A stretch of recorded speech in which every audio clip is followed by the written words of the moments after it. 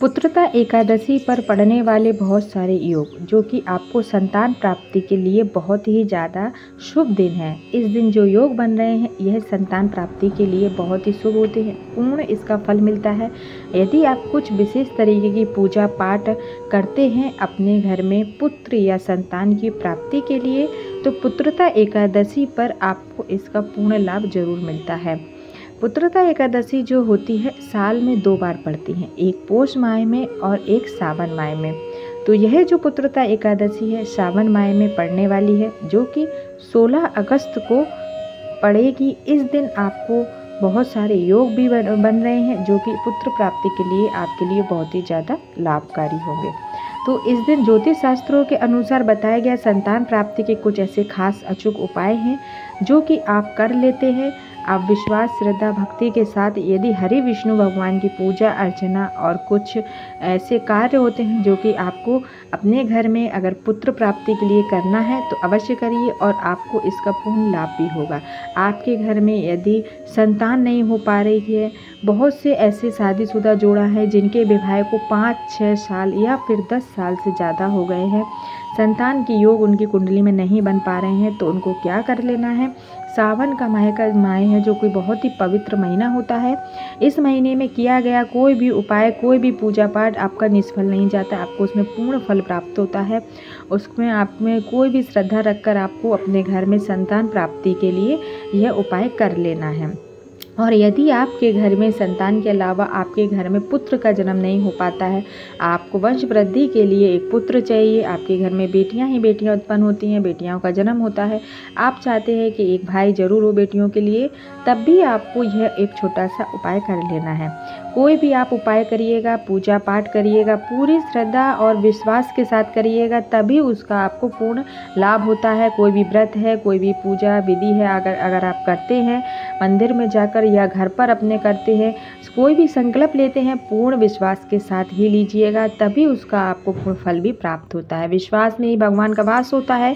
यदि आप विश्वास के अलावा के बिना कोई कार्य करते हैं, पूजा करते हैं तो वह आपको पूर्ण फल प्राप्त नहीं हो पाता है।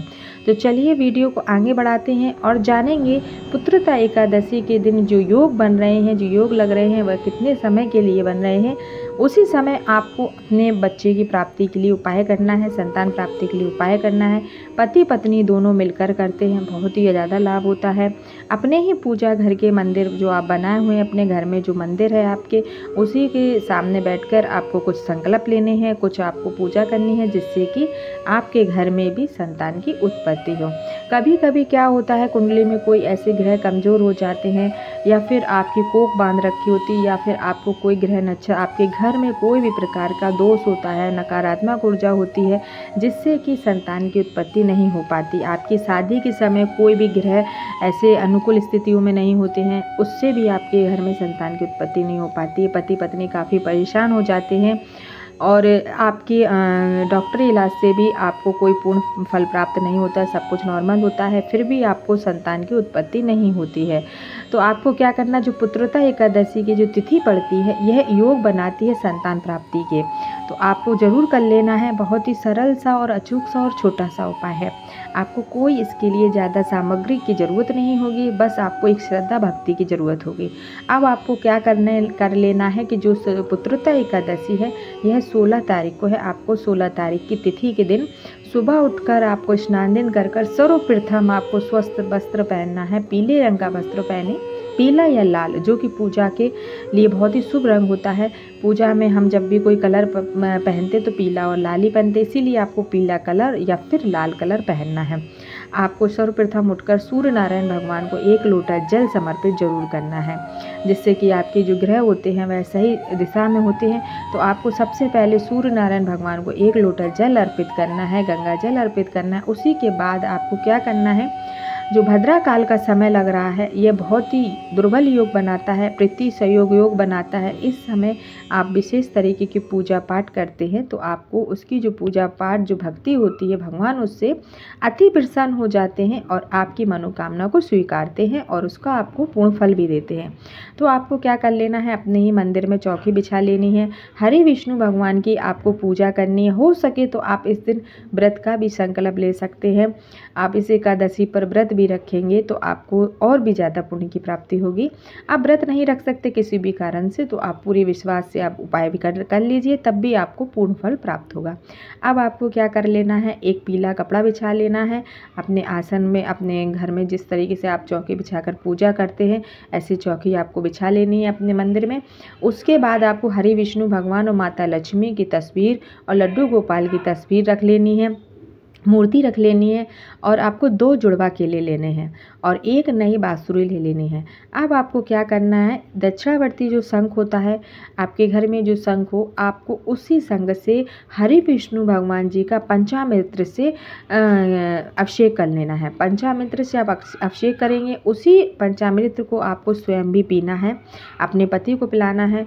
उसी के बाद आपने दो जुड़वा जो केले रखे हैं, उन केले को समर्पित करना है। फूल, फल रोरी, चंदन से आप जिस तरीके से धूप से दिया आपको प्रज्वलित करना है, जिस तरीके से आप पूजा करते हैं, आपको उसी तरीके से पूजा करनी है। दो केले आपको चढ़ा देने हैं। एक नई बाँसुरी चढ़ा चढ़ाते समय लड्डू गोपाल के सामने गोपाल स्त्रोत पाठ करना है आपको, जो कि संतान प्राप्ति के लिए बहुत ही अच्छा है। आपको गोपाल स्त्रोत पाठ का जाप कर लेना है। कम से कम तो आप पाँच बार कर ही सकते हैं। पाँच बार करिए, ग्यारह बार करिए। उसी के बाद आपको दूसरे दिन क्या करना है? पूरब दिशा की ओर बैठ जाना है। दो जुड़वा केले आपने जो चढ़ा रखे थे, वह केले आपको उठा लेने हैं। अब आपको याद रखना है, जो यह आपने उपाय करना है, नौ से दस के बीच में करना है। नौ और दस के बीच में भद्राकाल लग रही है, सोलह अगस्त को। नौ और दस के बीच में जो भद्रा लग रही है, उस समय आपको क्या कर लेना है, यह पूजा कर लेनी है। अब आपको यह जो केले हैं, दूसरे दिन उठाना है।